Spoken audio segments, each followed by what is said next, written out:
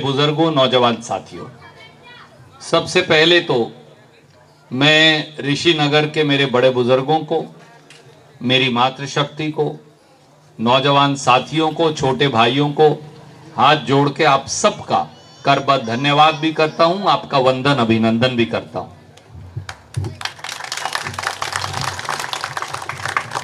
मेरे बुज़ुर्गों, साथियों, माताओं, बहनों, नौजवान भाइयों इलेक्शन में अब उनतीस दिन रह गए।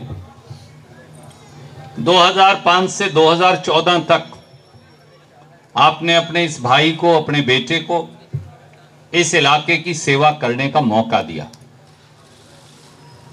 ये शहर जो एक गाँव की शक्ल में था यह शहर जिसमें ना सीवरेज था, ना पीने का पानी था, ना बिजली की व्यवस्था थी, ना पार्क था, ना पॉलिटेक्निक था, ना स्टेडियम था, ना कॉलेज था। वो सारी चीज़ों का निर्माण मैंने और आपने मिलकर किया। ऋषिनगर का ये इलाका मेहनत कशों का इलाका। और ऋषिनगर का मेरे हृदय में, मेरे दिल में तो विशेष स्थान है। क्योंकि आपका प्रेम और आशीर्वाद। अच्छा समय आया, बुरा समय आया, मेरे साथ लगातार बना रहा और उसके लिए मैं विशेष तौर से ऋषिनगर का शुक्रगुजार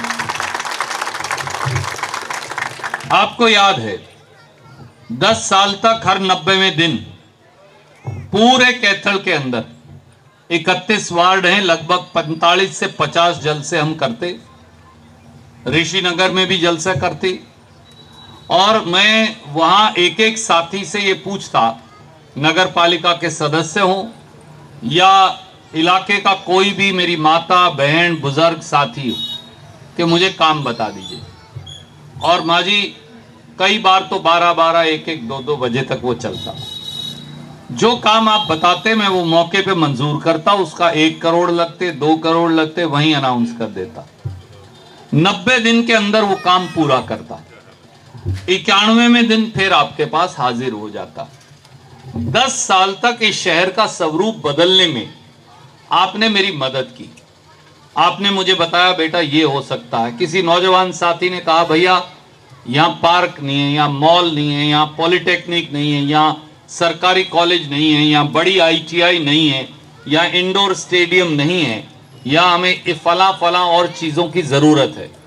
और धीरे धीरे धीरे धीरे दस वर्षों के अंतराल में उन सब चीज़ों का निर्माण किया।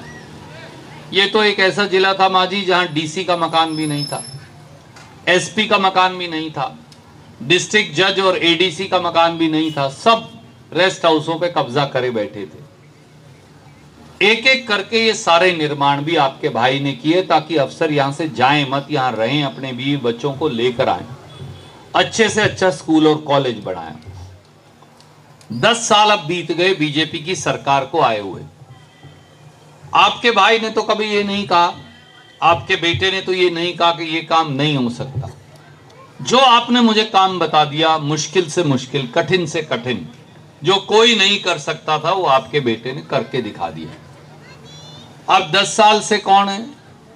बीजेपी के लोग दस साल में यहाँ के एमपी, एमएलए, कभी ऋषि नगर में जलसा करने आए हो तो आप बताओ। कभी आपने देखे ना वो पूछने आए, ना वो बताने आए, ना वो कोई ग्रांट देने आए, ना वो कोई सड़क बनाने आए, ना वो कोई पार्क बनाने आए, ना वो कोई रोज़गार धंधा पैदा करने आए। उन्होंने जैसे बच्चे यहाँ हनुमान जी की, शिव जी की फ़ोटो बनवा लेते ना आँख पे माजी बीजेपी वालों ने यहाँ खुदवा रखा है, मेरी तो चल दी को नहीं। उन्होंने हाथ के ऊपर ऐसे ही खुदवा रखा।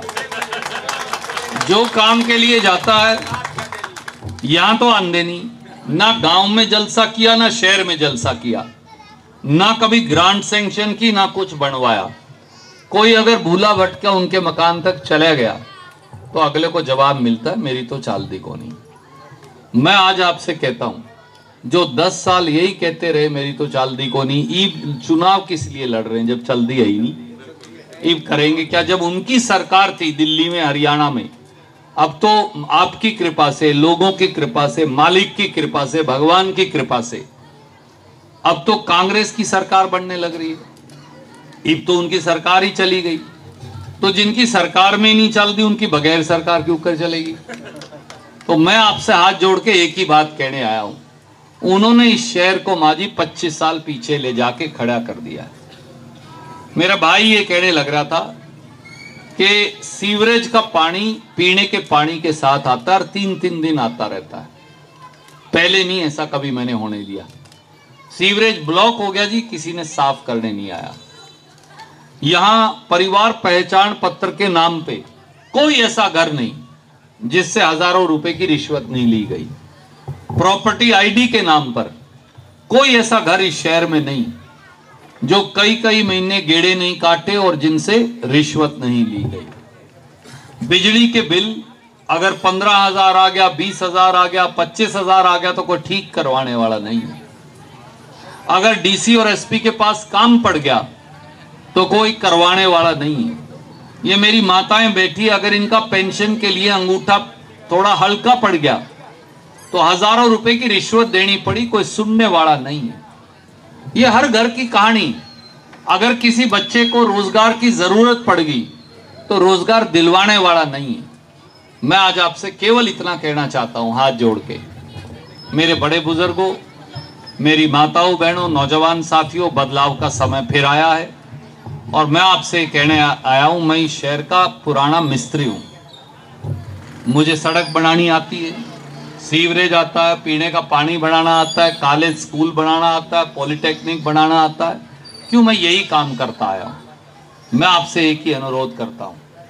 कृपया करके एक एक वोट अपने मोहल्ले की भी और अपने शहर में जहाँ जहाँ संबंध है। दोस्त हैं, रिश्तेदार हैं, मिलने वाले हैं, व्यवहार वाले हैं। एक एक वोट कांग्रेस पार्टी को और आपके इस अज़ीज़ को, आपके भाई को देकर इतने मतों से जिताकर भेजिए कि एक नया इतिहास बन जाए और आप मिल के फिर अपने शहर की सेवा करें। और इस शहर को जिन्होंने पिछाड़ दिया है, अपने को इस शहर को, इलाके को, आगे ले जाके अपने ज़िले को फिर खड़ा करना है। उसका रास्ता जो है, वो कांग्रेस पार्टी और रणदीप के अंदर से जाता है। बस इसी सेवा की अनुरोध के साथ मैं मेरी वाणी को विराम देता हूँ। आप सबको राम राम, जय हिंद, धन्यवाद। बुज़ुर्गों, नौजवान साथियों, सबसे पहले तो मैं ऋषि नगर के मेरे बड़े बुज़ुर्गों को, मेरी मातृशक्ति को, नौजवान साथियों को, छोटे भाइयों को हाथ जोड़ के आप सबका करबद्ध धन्यवाद भी करता हूँ, आपका वंदन, अभिनंदन भी करता हूँ।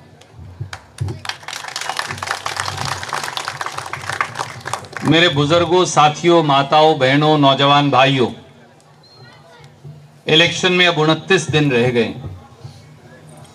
2005 से 2014 तक आपने अपने इस भाई को, अपने बेटे को इस इलाके की सेवा करने का मौका दिया।